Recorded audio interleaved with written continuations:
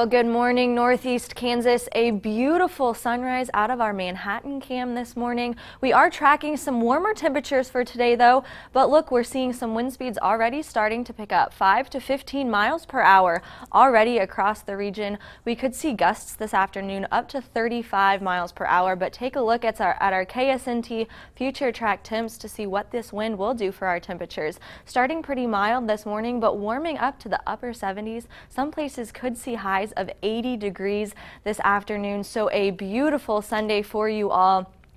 Your KSNT day planner 54 at 9 a.m. as you start your warm up, 71 by noon, 78 at 6 p.m. as we start to cool down when the sun begins to set today. Taking a look at your KSNT storm track seven day forecast, 80 today with those breezy conditions, but sunny for most of the rest of the week.